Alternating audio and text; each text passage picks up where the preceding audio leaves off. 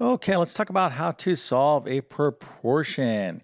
And the problem we're going to be looking at in this video is 2 is to 12 as x is to 18. So how do you solve this problem? Well, some of you can probably figure this out on your own, but what I'm really looking for is like a justification, right? Like, you know, what would you write on your paper to turn into your math teacher uh, to really kind of justify your answer. So if you want to think about this for a second or put your final answer into the comment section, I think that would be excellent. But uh, what I'm also interested in uh, is your understanding of what a proportion is. So, what is a proportion in mathematics?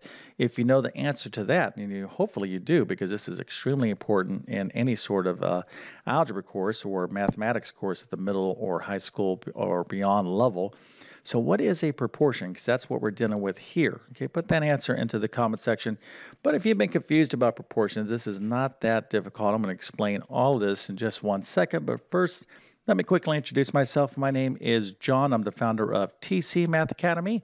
I'm also a middle and high school math teacher. I've been teaching math for decades. I'm telling you right now, there's no such thing as a bad math student. So if you're struggling in math, okay, doesn't mean that you are like a bad math student you're uh, unable to learn math. Okay, that is not the case. Okay.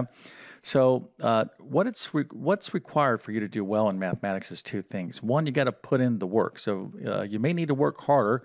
That's definitely probably the case for all of you out that are struggling in math. But the second thing you need is great math instruction, super clear and understandable. That's where I can help you out. So, if you're at the middle school, high school, or even college level and you need assistance in mathematics, check out my Math Help program. You can find a link to it in the description of this video. Also, if you're preparing for any sort of test that has a math section, something like the GED, SAT, ASVAB, uh, teacher certification exam, I have a tons of test prep courses that can help you out. If you homeschool, I have excellent middle and high school homeschool math courses that can help you out. And if this video helps you out, consider helping me out by liking and subscribing to my channel. Okay, so let's get into what a proportion is. I'm going to answer that as we go through this video, but um, let's take a look at this uh, question how, as it's uh, laid out because there's a lot of different ways we could well i'm going to say a lot of different ways but there's a few different ways we can write this problem okay? So the first is 2 is to 12 as x is to 18 now in algebra this 2 okay right there is kind of like a uh, alarm bells going off that we're dealing with a, a ratio, okay? And the way we could write that alternatively is this. I could give you the problem this way. 2, and then you can have a colon right there. This, uh, in mathematics, this colon right there means the word to, okay? And so what we're talking about here is the topic of ratios. And when you're studying uh, ratios, you're often also studying something called rates, and you're also uh, studying something called proportions. Okay, so typically, uh, which is a kind of a common chapter or unit in a lot of algebra courses or math courses, is uh, rates, ratios, and proportions. So if you're looking at this problem because you're doing this kind of work right now in your math class, I'm telling you right now, you're also doing rates and proportions. Uh, of course, we are looking at a ratio problem that involves a proportion. So what is a uh, ratio? What is a rate? What is a proportion? Well, I'm just going to focus on what a proportion is. But if you don't know the answers to what a rate and ratio is, you definitely need to know that. Uh, a couple of suggestions. Um, uh, one, I have additional videos on my YouTube channel on this uh, this topic, uh, and of course, I, I, teach this thoroughly in any one of my algebra courses as well. All right, so just so you understand that 2 is to 12 as x is to 18, you could see this problem this way. Okay, these are our equivalent ways to see the problem, and there's even another way you could see the problem, and we're going to see that right now. Okay, so again, uh, 2 is to 12 as x is to 18. We could see it written out this way, or we can use the uh, colon uh, notation, or you could see it this way, okay, as two fractions. So here we have 2, let me just go ahead and highlight this. This fraction bar this is 2 is to 12. Now we have to over 12, but anytime you see something like this, okay, you can interpret the fraction bar as the word 2, okay? Sometimes you could do it as the word per, but that's when we're dealing with rates. But you could write this this way, or you could uh, interpret it this way. 2 is to 12 as, okay, that's an equal sign, x is to 18, right? So what we want to do is take this question, okay, and write it like this, all right? So that's the first step here is to say, okay, 2 is to 12, 2 is to 12 as, okay, that's my equal sign, x is to 18. All right, now at this point, I'm going to go ahead and answer the question, what is a proportion? All right, so if you don't uh, know what that is, or if you still want to think about it, put again, put your answer into the comment section. But a proportion is nothing more than two equal fractions, two equal fractions. So that's what a proportion is. You can see here we have one fraction and it's set equal to another fraction, okay?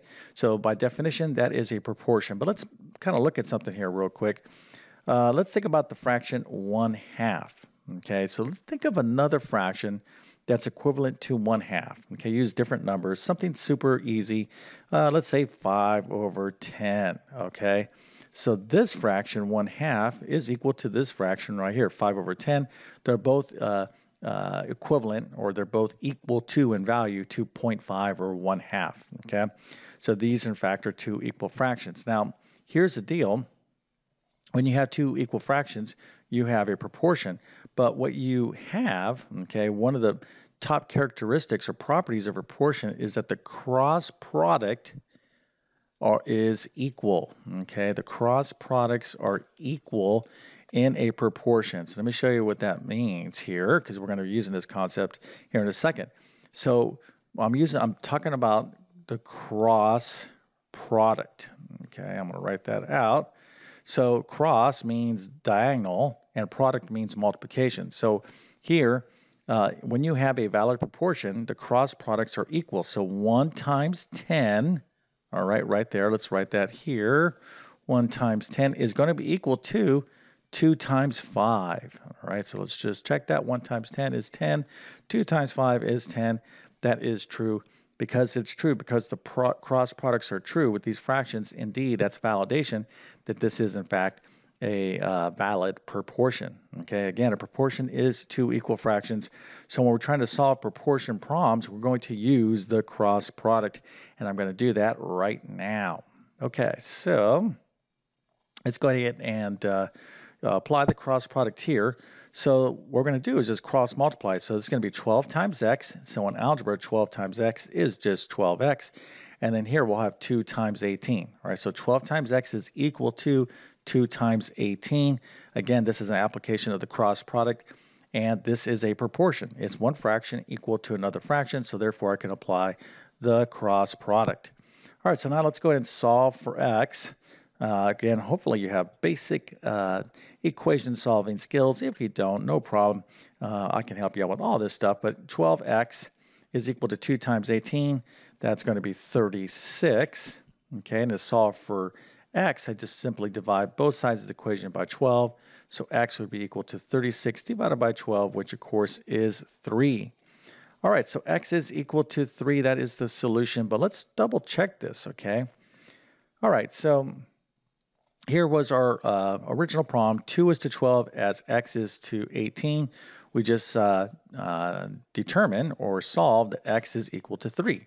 Let's go ahead and check that work here though. Okay, let's go ahead and replace this x with 3. Okay, so I'll do that right here. So now I have this fraction 2 over 12 is equal to not x over 18 but 3 over 18. And if I was to reduce this fraction here, 3 over 18, I would have the fraction 1 6. And if I was reduce this fraction over here, 2 over 12, I would have the fraction 1 6, i.e. again, we're dealing with a proportion. 1 6 is equal to 1 6.